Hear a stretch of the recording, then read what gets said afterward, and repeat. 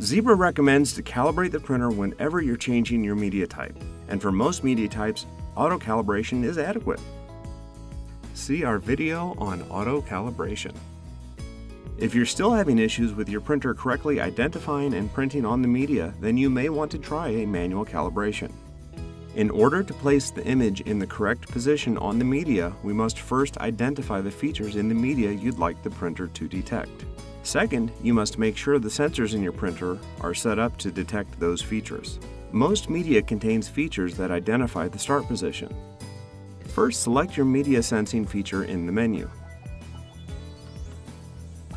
If your media has a gap, also referred to as web, or has holes or notches, select Gap Notch in the menu. If your media has a black mark on the underside of the media, select Mark in the menu. If your media is a continuous roll with no start position features, select Continuous in the menu. Please note that the label length on continuous media is controlled by the file that you're printing. Second, set the sensor type in the menu. For blackmark media, set the sensor type to reflective. For all other types of media, set the sensor to transmissive. Now load the media and ribbon. Make sure the media and ribbon are fully inserted. If you have any media handling options such as peel, liner take-up, cutter, or rewind, please calibrate in those modes.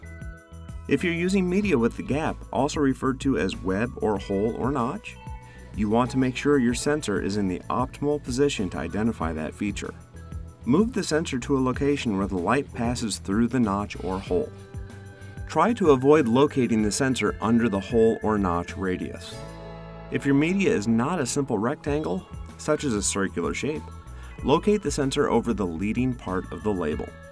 If you're using media with print on the underside, try to locate the sensor away from the print so the sensor does not get a false reading. After you have the sensor properly located, select Media Ribbon Calibration in the menu. Press the right select button under the display to start. Be careful not to press the button more than once.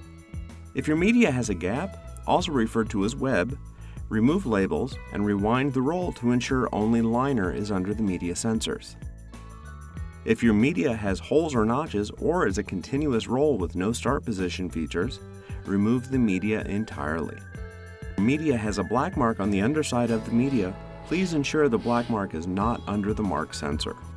If you're using ribbon, the ribbon must be removed from the ribbon sensor location on the inboard side of the printer. Close the print head. When you've completed these steps, press the pause button to continue. When the printer has learned the correct settings, the display will show Reload All. When reloading the media and ribbon, make sure the media and ribbon are fully inserted. Be sure that the ribbon is located under the ribbon sensor if your media has a gap, hole, or notch. Be sure that the media and not the gap or hole or notch is under the media sensor. If your media has a black mark, the black mark position does not matter. Be sure that the media is installed correctly.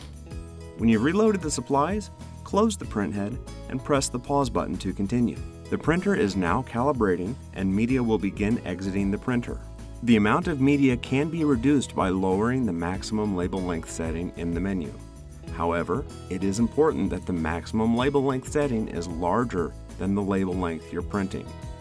Otherwise, the printer may not correctly calibrate. Please note that the number in the menu is in inches. When calibration is complete, the label should stop in the correct location.